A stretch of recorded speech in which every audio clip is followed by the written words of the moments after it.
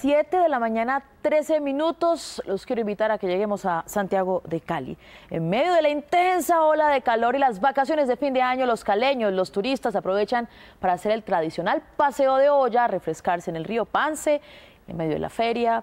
Tantas noticias en esa bella región del país. Carlos Gutiérrez, ¿qué otros atractivos se pueden disfrutar en esta época en la ciudad? Mabel, buenos días. Pues mire, los atractivos son visitar los diferentes eventos que están programados en la Feria de Cali, en la versión número 58, donde usted estuvo bailando salsa choque y salsa en el Salsódromo el pasado fin de semana. También se pueden dar un paseo en el centro de la capital vallecaucana, visitar la iglesia La Ermita, el Boulevard del Río, visitar la iglesia San Antonio, dos templos religiosos tradicionales y emblemáticos aquí en la capital vallecaucana. También pueden ascender a los cerros tutelares, ahí tenemos a Cristo Rey, también tenemos las Tres Cruces, pero también visitar los diferentes ríos que adornan la capital vallecaucana. El tradicional paseo de olla se ha convertido en una de las principales alternativas para los caleños que en medio de los intensos calores usan el río para refrescarse. Es una buena alternativa, ya que uno trabajando todo el día, ese calor es bochorno, entonces uno viene y relaja un ratico acá con la familia. A los ríos, de, a la piscina, porque hace mucho calor y pues venimos aquí a refrescarnos.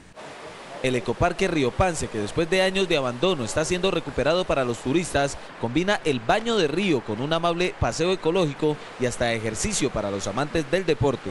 Se encontraba deteriorado, lo que podemos poder hacer es una inversión de 100 millones de pesos donde incurre la recuperación de todo este sendero que estamos viendo en sus 4.4 kilómetros a su cabalidad.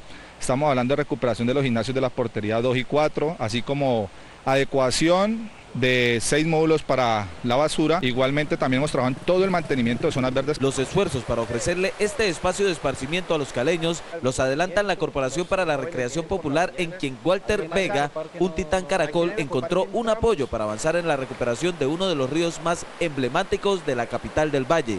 Hacemos el trabajo de recuperación, toda la parte de reciclaje, ellos son un aportante importante para nosotros porque sale buena cantidad de material y con el reciclaje que ellos nos aportan hacemos la limpieza en los sectores donde no hay control sobre los residuos sólidos, en la vereda La Vorágine. El ecoparque tiene sus puertas abiertas para quienes quieran disfrutar de un paseo familiar y refrescarse en medio de las altas temperaturas que según los pronósticos podrán llegar hasta los 35 grados bajo sombra en los siguientes días.